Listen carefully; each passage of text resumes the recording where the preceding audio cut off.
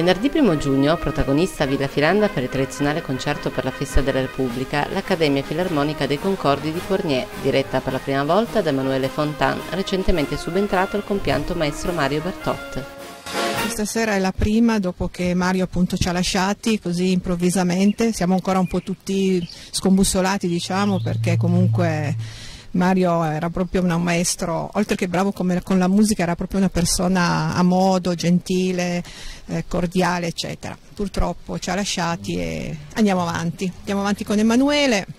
Questo è il, punto, il concerto del 2 giugno, eh, siamo qui a Villa Filanda, un posto bello in mezzo al verde, speriamo che, di avere un bel pubblico, ma so, di solito abbiamo sempre il pubblico.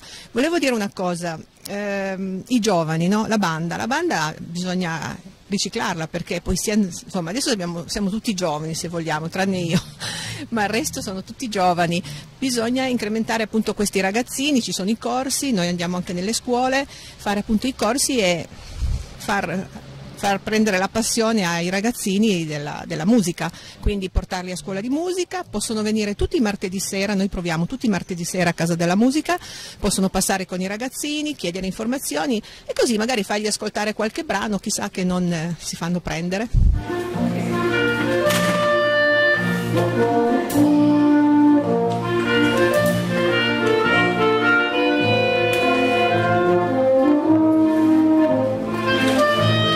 Prendo l'occasione anche per ringraziare tutto il nostro pubblico che ci segue, dal concerto di, di, Natale a tutti i vari concerti. L'anno scorso abbiamo festeggiato tra l'altro i 230 anni, quindi abbiamo avuto anche un repertorio abbastanza insomma, pieno.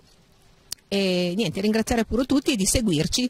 Ah, una cosa, ne approfitto, prendere qualche tessera, perché abbiamo bisogno di soldini, nel senso, vi spiego, i corsi sono gratuiti, cioè noi ci prendiamo, non del tutto, ma comunque ci prendiamo carico di, delle spese. E viviamo, noi viviamo praticamente di tessere, che sono 10 euro, è una tessera annuale, così, è un piccolo aiuto.